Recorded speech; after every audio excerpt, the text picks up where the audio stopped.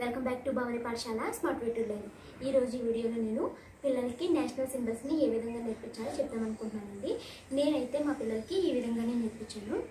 మనము వీడియోలోకి వెళ్ళడానికి ముందు మీకు ఒక విషయం చెప్తాను అనుకుంటున్నానండి.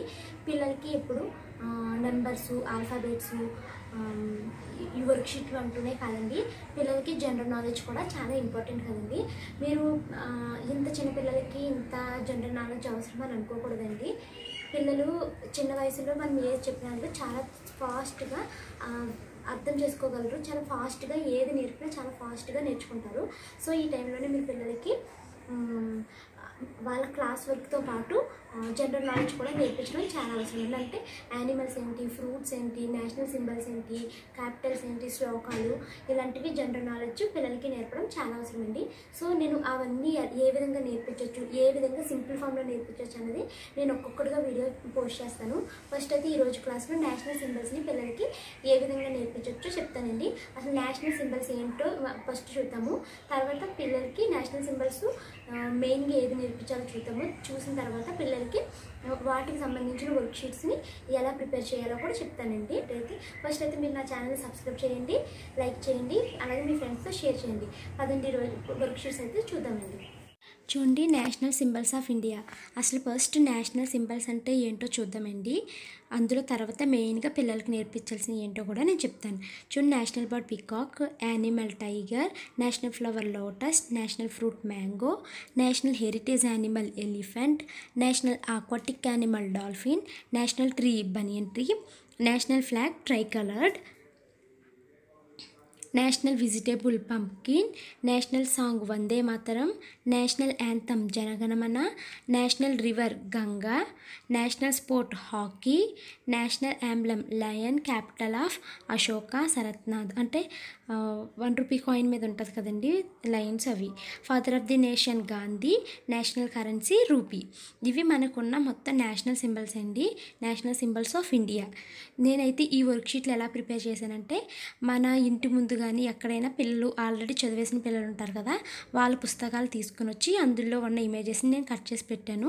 నాకు దొరికిన మట్టుకే పెట్టానండి మిగతా వాటికి పెట్టలేదు.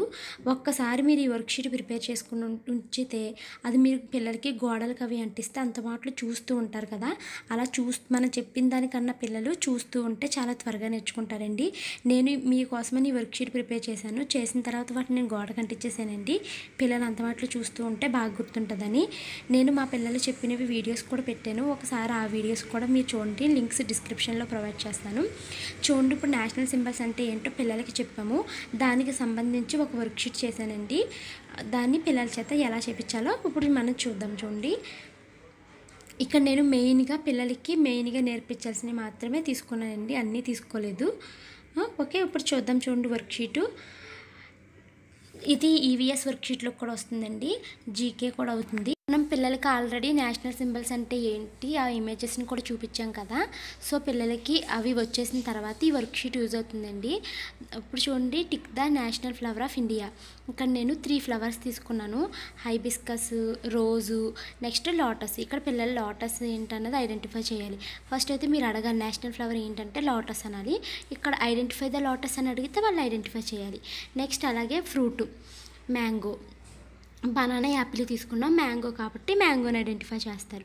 Next national bird of India peacock. వాళ్ళు నేషనల్ బర్డ్ ఏంటంటే పికాక్ అని చెప్పాలి ఐడెంటిఫై చేయమని చెప్పాలి బర్డ్ని. Animal tiger. Next national heritage animal elephant. Elephant ఎక్కడ ఉన్నది అన్నది పిల్లల చేత ఐడెంటిఫై చేయించండి. Next tick the national aquatic animal. Aquatic animal ఏంటంటే వాళ్ళు డాల్ఫిన్ అని చెప్పగలగాలి ఆ డాల్ఫిన్ని టిక్ చేయించాలి. Next tick the national vegetable of India national vegetable pumpkin పిల్లలు పంప్కిన్ ఎక్కడుందో ఐడెంటిఫై చేయాలి.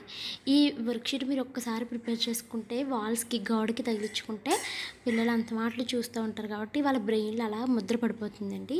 ఇలా ట్రై చేయండి ఒకసారి మీరు. మెయిన్ అండి. వీటితో పాటు పిల్లలకి నేషనల్ ఫ్లాగ్ అంటే ఏంటో తెలియాలి. అలాగే నేషనల్ స్పోర్ట్ ఒకటి నేషనల్ ట్రీ ఈ మూడు నా దగ్గర ఇమేజెస్ లేవు కాబట్టి నేను పెట్టలేదండి. మీరు ఇంత వర్క్షీట్ చేయకపోతే బయట బుక్స్ అమ్ముతారు కదా అవి తెచ్చేసేయండి. నా వీడియో నచ్చినట్టయితే లైక్ చేయండి షేర్ చేయండి. Thank you for watching bye